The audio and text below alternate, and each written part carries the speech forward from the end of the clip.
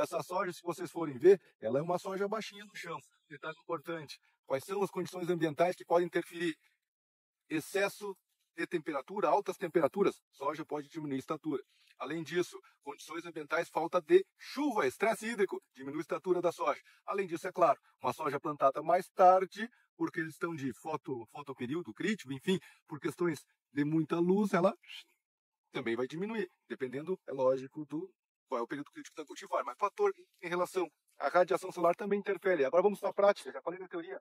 Olha só, que complicação. Me ajuda aí, Jonas. Olha só, sojinha pioneira, quatro dedos do chão, mais ou menos, vagem. Olha aqui, ó, dois dedos do chão, vagem. Olha aqui, ó, que show de bola. Muita vagem, ó. Vamos pegar aqui dois dedos do chão, temos uma, duas, três, quatro, cinco, seis, sete, oito vagens somente nessa planta. O que, que eu quero trazer para vocês em relação à prática?